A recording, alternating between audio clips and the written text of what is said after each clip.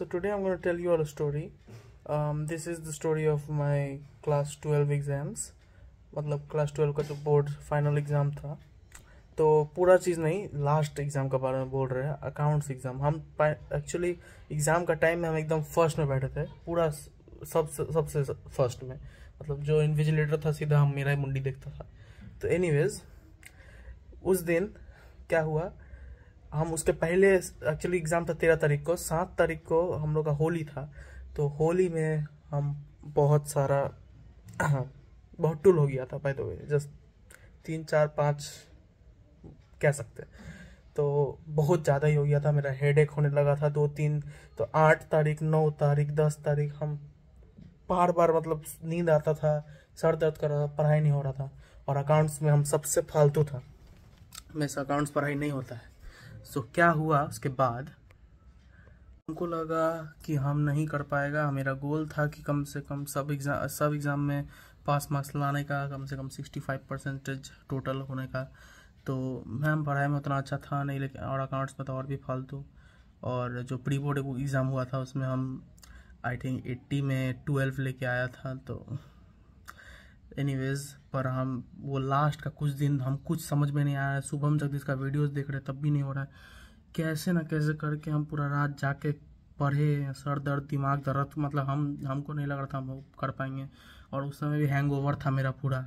बहुत प्रॉब्लम हो रहा था। सर दर्द था, पढ़ाई नहीं हुआ था, और हमको जाना था एग्ज़ाम देने।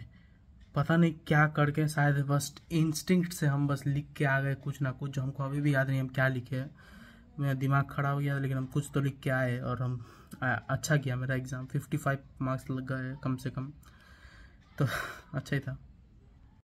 पर वो दिन बहुत ही अजीब था भाई। वो दिन था मेरा आखिरी दिन स्कूल के अंदर मतलब यूनिफॉर्म में। और सब लोगों को आखिरी वाली यूनिफॉर्म में भी देखे थे हम उस दिन और बहुत स्पेशल डे था।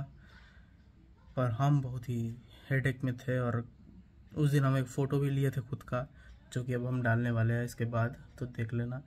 वही हम लास्ट फ़ोटो खींचे थे। उस दिन के बाद से मैंने बहुत लोगों का चेहरा नहीं देखा।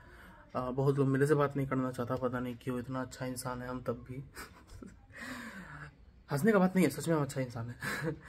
तो आ, उस दिन मेरा पापा ने भी मेरे को समझा क्योंकि फिर पापा के सामने जाके इमोशनल हो गया था बोल रहा था मैं नहीं कर पाऊँगा ये वाला एग्ज़ाम तो पापा ने बोला कोई बात नहीं जैसा होगा करो देखो कैसा होता है।